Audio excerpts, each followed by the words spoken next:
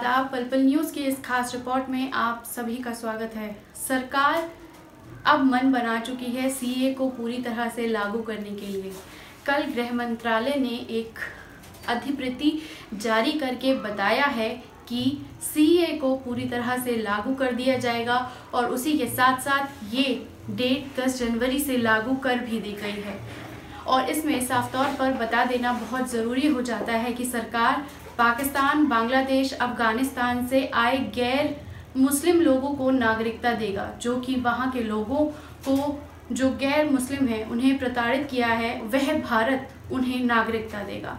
लेकिन सवाल फिर से वहीं उठकर खड़ा हो चला है कि भारत के मुसलमानों का क्या?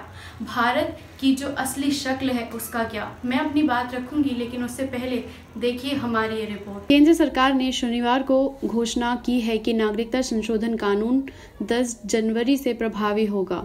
केंद्रीय गृह मंत्रालय ने एक गजट अधिकारी ने बताया है कि कानून 10 जनवरी से प्रभावी होगा, जिसके तहत पाकिस्तान, बांग्लादेश, अफ़गानिस्तान के गैर मुस्लिम शरणार्थियों को भारत नागरिकता देगा।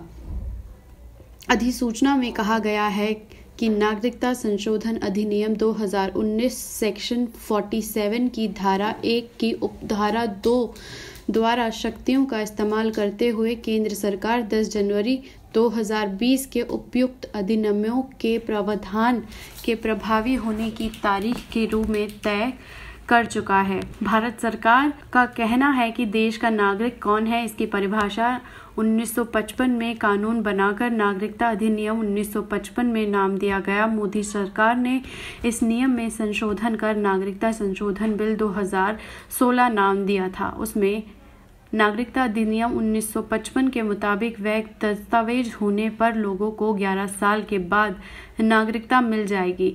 इस कानून को लागू होने के बाद अफ़गानिस्तान, बांग्लादेश, पाकिस्तान में से धार्मिक प्रताड़ना के कारण 31 दिसंबर 2014 तक भारत आए गैर मुस्लिम शरणार्थी, यानी हिंदू, सिख, बौद्ध, जैन, पारसी, ईसाई समुदाय के लोगों को नागरिकता मिल जाएगी। मतलब 31 दिसंबर 2014 से पहले इस तारीख में जो भी प्रवेश लेता है, उसके आवेदन अपने पात्र करने होंगे और पिछली तिथि को भी दिखाना होगा। नागरिकता संशोधन बिल की छठी अनुसूची के अनुरोध आने वाले क्षेत्रों में ये लागू नहीं होंगे, जिसमें असम, मेघालय, त्रिपुरा के क्षेत्र मिजोरम भी शामिल है, जिसमें यह बिल इन राज्यों में लागू नहीं होगा। यहाँ इनर लाइन परमिट है, जैसे अरुणाचल प्रदेश, नागालैंड और मिजोरम। तो आपने देखी हमारी रिपोर्ट, जिसमें गृह मंत्रालय की वेबसाइट पर ये जानकारी दी गई है कि किस तरह से सरकार इस कानून को लागू करके अब उन लोगों को नागरिकता तो देगी, जो कि गैर हिंदू हैं। लेकिन सवाल वही उठता है कि उन मुसलमानों का क्या, जो भारत में 1947 से रहते हुए आ रहे हैं?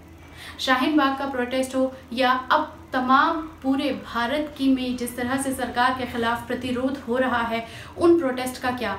उन उन लोगों की आवाज़ का क्या जिसे सरकार पूरी तरह से कुचल देना चाहती है? वो लगातार 1955 के अधिनियमों के कानून के आधार पर बताना तो चाहती है, लेकिन 2014 में इस नियम को अब कानून में बदल देने के बाद 2019 में जिस तरह से इम्प्लीमेंट किया जा रहा है, उससे भारत की पूरी तरह से तस्वीर बदलती हुई दिख रही है और ये भारत जो भारतीय जनता पार्टी बनाना चाहती है, वो गांधी और अंबेडकर के बिना बना रही है और ये कहीं ना कहीं अफसोस है कि ये भारत, पुराने भारत की तस्वीर को बदलना चाहता है, लेकिन देश की आवाम इतना अच्छी तरह समझती है कि वो पुराने भारत में रहकर ज़्यादा खुश है, ना कि इस हिंदुत्व के भारत में। शुक्रिया।